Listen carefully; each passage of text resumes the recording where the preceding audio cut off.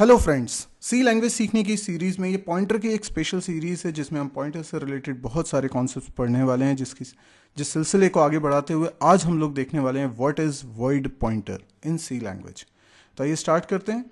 Word pointer क्या है? Okay okay, तो आपको पॉइंटर के बारे में एक बात मालूम है कि पॉइंटर वेरिएबल जब बनाया जाता है जैसे मैं यहाँ पे पॉइंटर वेरिएबल बनाता हूँ एक मैंने बनाया इंट और स्टार पी अब आप जानते हैं, ये जो वेरिएबल हमने बनाया है, ये पॉइंटर वेरिएबल है। ये जो स्टार सिंबल लगाते हैं हम एस्ट्रिक लगाते हैं, ये डिनोट करता है कि हम पॉइंटर वेरिएबल बना रहे हैं। लेकिन ये इंट क्या डिनोट करता है?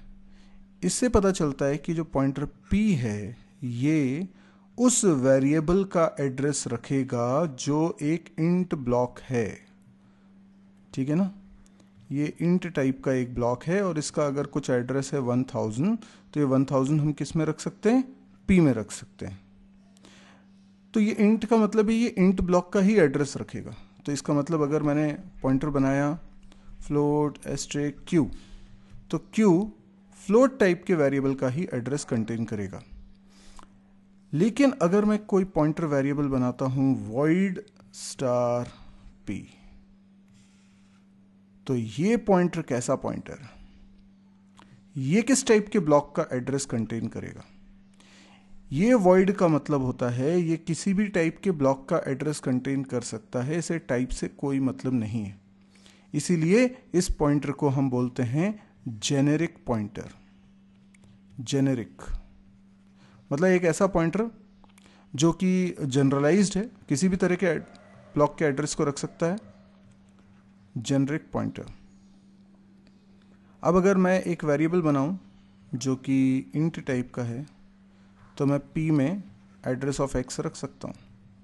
अगर मैं एक वेरिएबल बनाऊँ, जो कि फ्लोट टाइप का है, मैं चाहूँ तो p में उसका एड्रेस रख सकता हूँ। यानी मैं p में किसी भी टाइप के ब्लॉक का एड्रेस रख सकता हूँ। अब अच्छा अगर ये p एक्स का एड्रेस कंटेन कर रहा है तो हम जानते हैं कि पी की मदद से मैं एक्स को यूज़ कर सकता हूँ एक्सेस कर सकता हूँ। इसी तरीके से यदि पी वाई का एड्रेस कंटेन कर रहा है तो वाई को एक्सेस कर सकता है। पर क्योंकि पी वॉइड टाइप का पॉइंटर है इन टाइप का पॉइंटर नहीं है, इसलिए अगर आप सोचेंगे कि हम डायरेक्टली स्टार पी लिखकर एक्स को रिप्रेजेंट कर दें तो ये पॉसिबल नहीं है। बल्कि हमको क्या करना पड़ेगा? जैसे मान लीजिए कि मुझे मालूम है ये एक्स नाम का वेरिएबल है और ये पी नाम का पॉइंटर है और पी पॉइंटर पॉइंट कर रहा है एक्स को मतलब पी के अंदर एक्स का एड्रेस रखा हुआ है। तो अब मैं एक्स को एक्सेस करना चाह रहा हूँ तो नॉर्मली हम स्टार पी लिखते हैं तो वो एक्स बन जाता है। लेकिन यहाँ पर ऐसा नहीं कर सकते, हम यहाँ लिखेंगे पी और ये एड्रेस किस टाइप का है? पी में जो एड्रेस है, वो एक्स का एड्रेस है, लेकिन पी क्योंकि वॉइड टाइप का पॉइंटर है, इसीलिए अब पी में जो एड्रेस रखा है पी को नहीं मालूम है कि वो इंट ब्लॉक का एड्रेस है। इसलिए हम इस एड्रेस का एड्रेस की कास्टिंग करेंगे, यानी कि हम लिखेंगे इंट स्टार तो इंट स्टार लिखने का मतलब क्या हुआ? ये इंट ब्लॉक का एड्रेस कंसिडर किया जाएगा। पर ये अभी एड्रेस ही है। तो मैं अगर इस पर भी स्टार लगा दूँगा तो ये उस की डी डी रिफ्रेंसिंग हो जाएगी और ये एक्स को रिप्रेजेंट करने लगेगा। अब अगर मैं कुछ इसमें असाइन करना चाहता हूँ लेट से टेन तो असाइन कर सकता हूँ। तो ये एक्स के अंदर टेन चला जाएगा। तो हम सीधे सीधे स्टार पी नहीं लिख सकते, हमें इस तरीके से टाइप कास्टिंग करनी पड़ेगी। इसी प्रकार से अगर मान लीजिए पी फ्लोट टाइप के वेरिएबल को पॉइंट कर रहा है, यानी इस पर्टिकुलर सिनेरियो में सपोज़ करिए, ये एक वेरिएबल है पी और ये एक वेरिएबल है वाई और पी वाई को पॉइंट कर रहा है। तो मैं स्टार पी लिख कर वाई को रिप्रेजेंट नहीं कर सकता, बल्कि मुझे क्या करना पड़ेगा? अगर मैं पी लिख रहा हूँ तो ये एड्रेस है। स्टार तो इस पर लगा नहीं है, लेकिन उससे पहले क्या कर दें? टाइप कास्ट कर दें। क्या लिख दें? फ्लोट लिखना पड़ेगा, और फ्लोट के बाद स्टार लगाना पड़ेगा। अब इसके अंदर मैं कोई वैल्यू अगर रखना चाहता हूँ तो मैं रख सकता हूँ। तो इसके अंदर 4.7 चला जाएगा। यानी अल्टीमेटली पी जिस ब्लॉक को पॉइंट कर रहा है, उसको हम एक्सेस तो कर सकते हैं, पर हमें टाइप कास्टिंग करनी पड़ेगी। ये सब कब करना पड़ता है? जब पॉइंटर जेनरिक पॉइंटर हो, यानी वॉइड पॉइंटर हो। वॉइड पॉइंटर और जेनरिक पॉइंटर एक ही बात है। तो आई होप आपको ये वॉइड पॉइंटर का मतलब समझ में आया होगा।